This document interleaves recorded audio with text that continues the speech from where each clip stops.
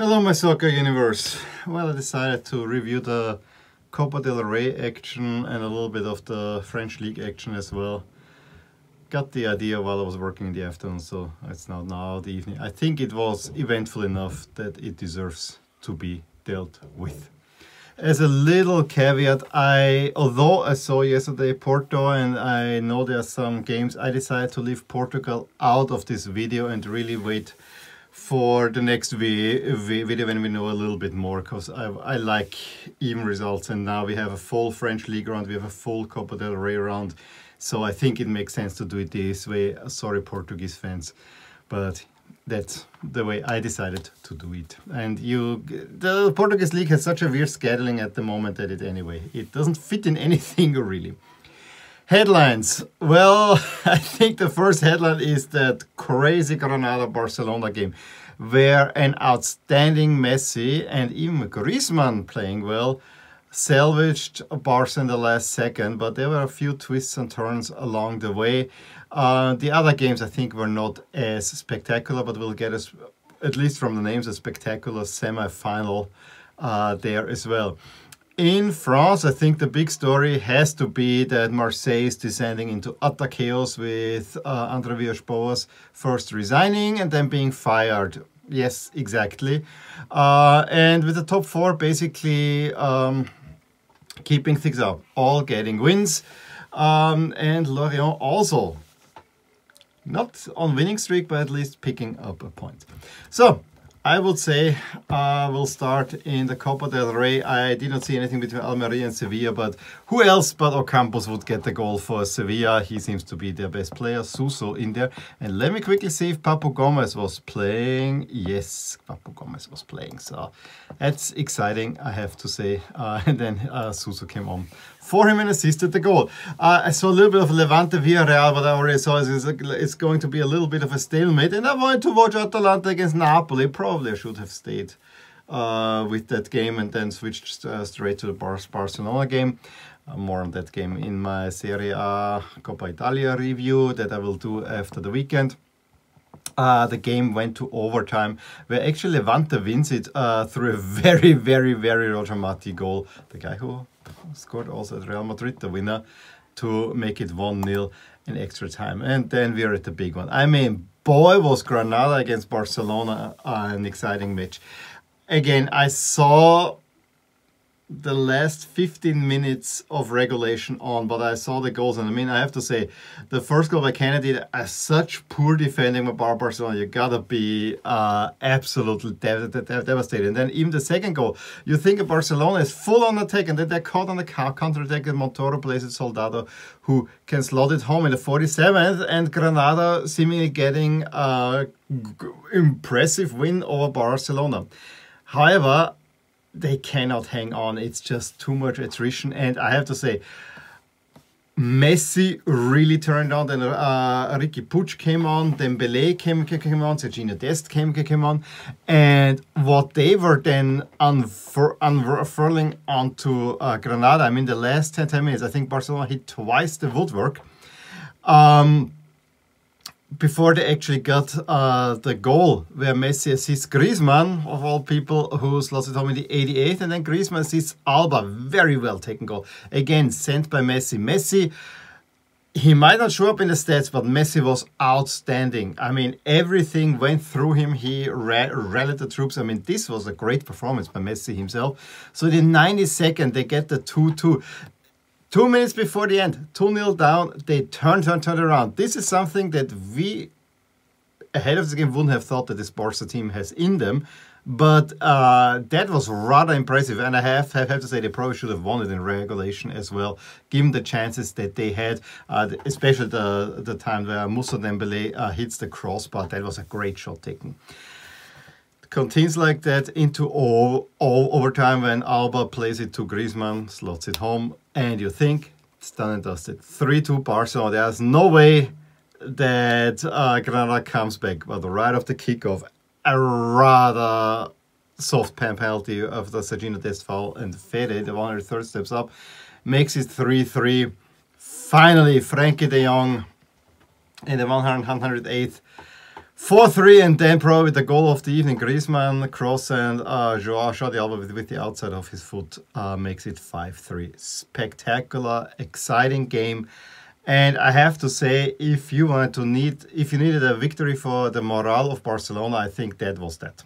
That was really uh, that could actually do more for um, Barcelona going, going forward than most of the league wins that they had so far. Because this was an exciting game. You played a decent squad and you got out of a tricky situation.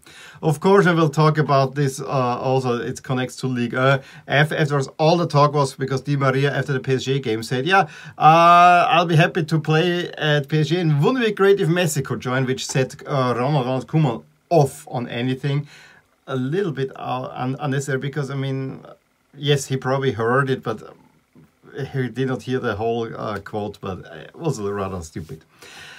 And then I actually had some taste for the Rey, decided to forego the, the Premier League. Yes, I had to work on the computer too, so uh, that always is a decider too. And I said, Betis Bilbao sounds interesting. I was boring. I mean, I could get work done. Let's put it that way. Um, and then you think that Betis had won it when Juan in the 84th after a goalkeeping mistake makes it um, 1 0. However, Bilbao, who was the better team overall, never gives up in the 94th. Basically, the last kick of, of the game, Raul Garcia can make it 1 1. And then you think maybe there could be something going on, but except when Teo came, came, came from Betis, who took on a few defenders, and uh, there was some, some danger there. This game was headed straight for penalties, and um, Bilbao goes first, converts all the all the penalties. But Sergio Canal, there was a good good save, and then Juanmi actually tries to be cute and has his Panenka saved, and then uh, Berchiche can slot it home, and Bilbao moves on to the semi-finals.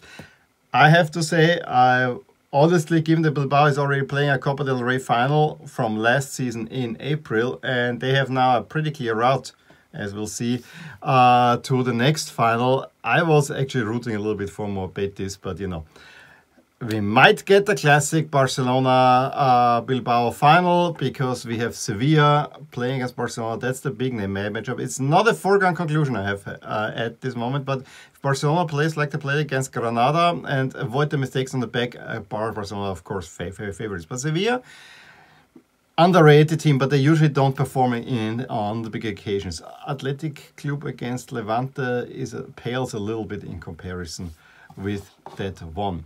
Uh, on the weekend, just we have again Bilbao against Valencia. We saw in La Liga uh, with Atletico against Celta Vigo and Betis Bilbao, Barcelona. That's one of those games that you gotta gotta watch because there are many many goals usually in there. Uh, in France, we had Bordeaux against Lille, where uh, the game was actually a little bit more open and more level than the scoreline might suggest, with advantages Lille, surely. Uh, Yazici breaks the tie in the 50-54th and then a corner kick for Bordeaux launches a counter-attack for Lille uh, where Araujo is played free and uh, Timothy Weah is on the, uh, running with him and he's not selfish. He plays it over to uh, Weah and it's 2-0 Lille. Bordeaux could have maybe scored one or two goals, but in, in, in the end it's David after Ikoné assist in the 89th who gives them a 3-0 win and they stay of course top of the table. Lyon rather unexciting 1-0 over Dijon, although Rudy Garcia playing at the team that he made his name with in, in a way. Lucas Paqueta from Milan um, scoring the winner there. Um, we see here Rennes Lorient 1 1. I haven't seen any, any, anything from there, but um, Monaco against Nice was uh, also also interesting because it was all Mo Monaco. They only have a 1 0 lead at the half through Ben Yedder pen penalty. With the first chance, Nice can equalize in the 4 47, but Ben Yedder with a thunderous shot after an indirect free kick through the wall. Really, really nice goal makes it 2-1. Uh, I overlooked the 2-2 of Marseille, and we have to talk about the chaos of Mar Marseille. Uh, as I already alluded to in my uh, headlines, and I almost would have, would have forgotten that that would have not been good, great. Let me, uh, put, put up that, because uh, that was actually an exciting game, uh, the Lens Marseille game. We had the big riot at the train uh, at, at, at train car, but this is not what made Andre Villas-Boas step down. No, uh, Marseille bought a player that he didn't want to, and he couldn't accept it. And then he said, "Yeah, he anyway one one wanted to already leave." And then he said, "Okay, goodbye, I'm going."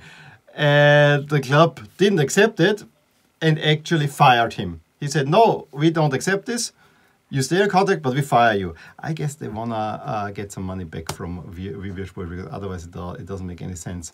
So now a youth coach uh, is uh, the trainer or the, or the, coach of Marseille. They have been looking at a few candidates who all have denied. I think Marseille is in utter chaos. And that was a team that two months ago we thought they can make a title challenge.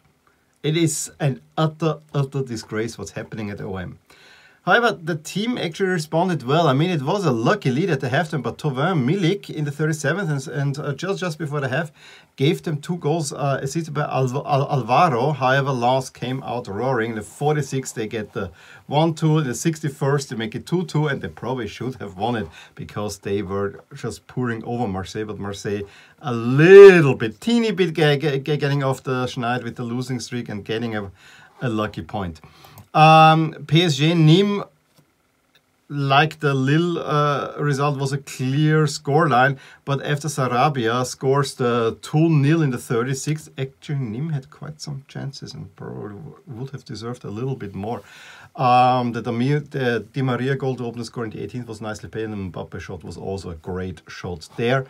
And uh, then the big name uh, clash, which didn't mean anything because they. Oh, I mean, a man meant a lot. It was a relegation battle between Saint-Etienne and Nantes. I think Nantes were, were a little bit better, but um, in in the end they cannot hold on to to lead and Camara. Uh, equalize after Kolo gives Nantes the lead uh, for Saint-Etienne. Yes, there were chances on both sides, but uh, it ends in a 1-1 in a not very good match. And so in Ligue 1 now we have not many changes. The only thing that changed is that Brest is all, overtook Nice. Everything else stays the same, but there's a big change uh, because of that little win and the so-and-so PSG performance. You know, Neymar out. He's about to uh, renew his contract, by, by the way. That gave the PSG rating a big dip and Lille got a big boost. And so suddenly we have PSG only at 42%. Season low, they were 51 at the uh, uh, just at the weekend. And Lille is already third, 31. They are the big uh, winners from um, that point swing there. On the bottom, watch out, Lorient is still in 18th. That's the relegation spot, but there's a game less. If you and you see it already in the chance of relegation level with Nantes. If we do it, if we just Lorient is actually ahead of Nantes. I personally would love, would not like to see Nantes go, but I think Lorient would definitely deserve to stay in league. Uh, look at the green and red, red bars who are the surprises and the no also good teams. Marseille getting more back to where they probably should, should be PSG with the red bar. Expected standings, yeah, it's a three-way race at the moment that Mon Monaco maybe could join. I think there's still a little bit too much behind. Uh, then Rennes leads the pack of the chasers. We have to see. I think Marseille will drop further of losses as a promoting is uh, playing a spectacular season. Up until Bordeaux, those are the teams that play for Europe. Starting with Reims, 11 down. It's more or less uh, Reims to Saint-Etienne, a little bit surprisingly, given how bad, bad they're, they're playing. Uh, that's the safe-ish zone, and then Lorient, Lorient and Nantes Les Sports, Dijon and Nîmes seem to be gone. Um, on the weekend, we talked about in the previous video, um, OM against PSG is of course the big one. However, we don't know if it's gonna, gonna be played with all the tensions going on in Marseille. Uh, Lille playing at Nantes. Uh, we have Monaco at Nîmes, and we have Lyon against Strasbourg. So all good games. Well, that was it from France and from Spain for this week. Uh, was rather exciting, especially the personal game was great. Give me a thumbs up, if you enjoyed this video. Drop a line if you want to add something to what I said here. Subscribe to my channel if you want to see more, and I will talk to you soon. Bye. Hey there, I hope you enjoyed this video and if you did, here are some videos and playlists uh, that you might be of interest to you too. Also, please consider subscribing to my uh, channel to give you all the updates, all the things that rotate in my soccer universe. And with that, Have a great day. Thank you.